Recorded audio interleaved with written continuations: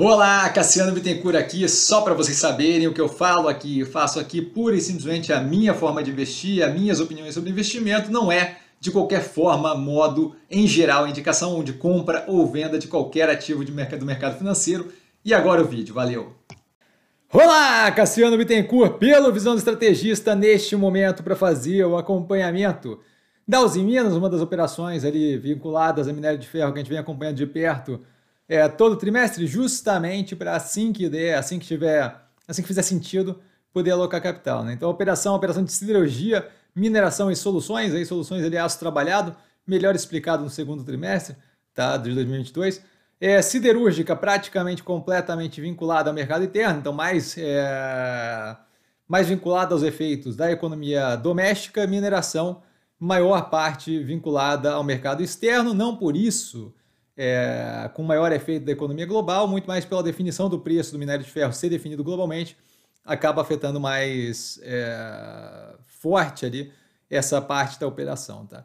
No segundo trimestre de 2022, a gente teve justamente toda a colocação da tese de investimento aqui, incluindo mais cor sobre as áreas de atuação da operação, tá? com que setores são afetados e por aí vai.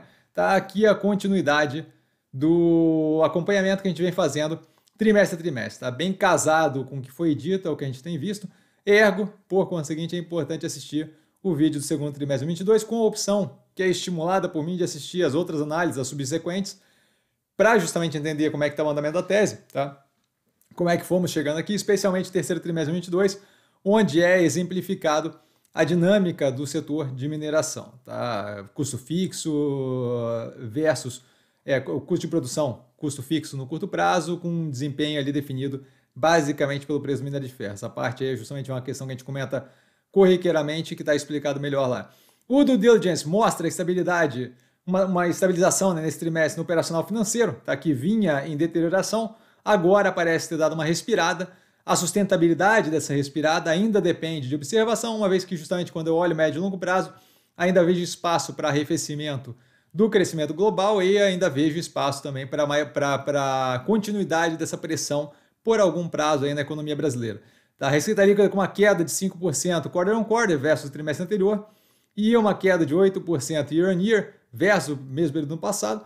O EBITDA ajustado é, com um aumento de 35% versus o período anterior e uma queda de 50% versus o mesmo período do ano passado.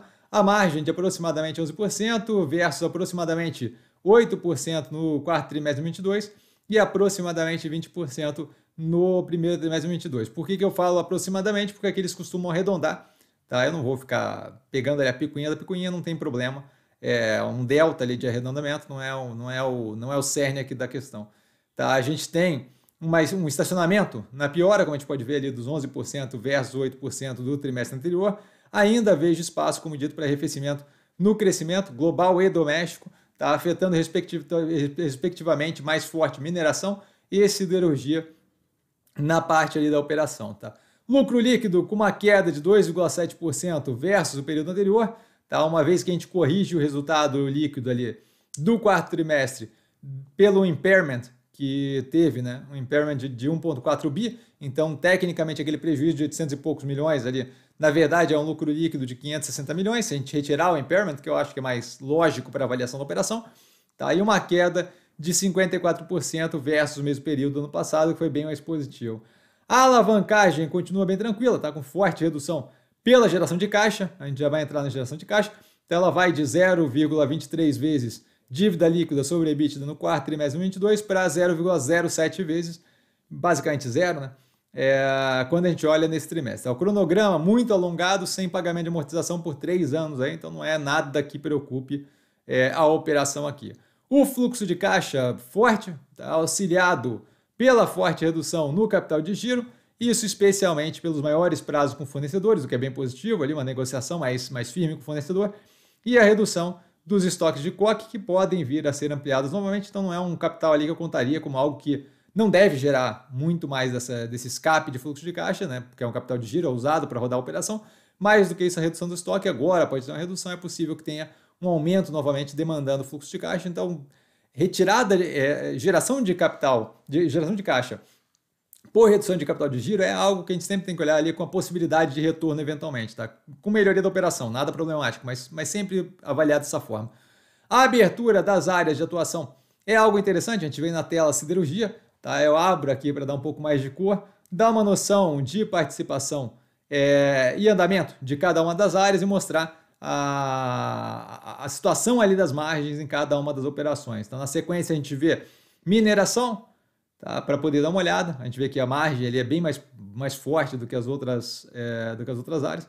Tá? E finaliza com soluções, que é justamente aquela parte do aço trabalhado, aí na tela para quem quiser dar um pause. Tá? Isso dito, continuo vendo a operação como bem positiva, tá? mas levando em conta a conjuntura, onde eu não vejo a capacidade nossa aqui de desconsiderar a continuidade do arrefecimento do crescimento global, especialmente com a inflação ainda não muito controlada, a gente ainda vê é, a inflação persistente em vários locais, Europa, Estados Unidos, aqui no Brasil inclusive, e a pressão justamente, falando de Brasil, na economia local, que ainda é uma contínua é, força negativa aí por algum tempo. Tá? Então eu tenho interesse na operação, mas em preço menor. Acho que uma vez que a gente tem é, a, o preço com, com estabilidade desde a última análise, como vocês podem ver na tela, tá? e nessa última análise a gente já tinha visto que aquele preço não havia acompanhado a piora da operação nos trimestres anteriores. Tá? O laranja aí no gráfico é justamente o preço do minério de ferro, só para dar uma noção, então a gente já tem uma pressão delta mais negativa do minério de ferro para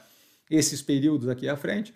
É, de qualquer forma, acho que a questão aqui é justamente isso. É, a operação roda bem, mas a precificação teria que ser mais casada com algo é, levando em consideração o arrefecimento futuro e levando em consideração a piora contínua que a operação teve nesses períodos aí, com um cenário menos positivo do que a gente teve anteriormente. Tá?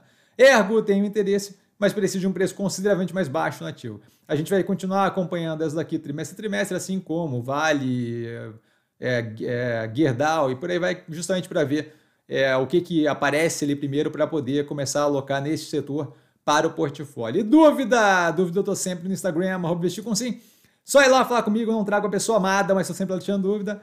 E vale lembrar que quem aprende a pensar bolsa opera como era detalhe. Um grande beijo a todo mundo e até amanhã com compondo a tese no feriado aqui. Valeu, galera. Beijão!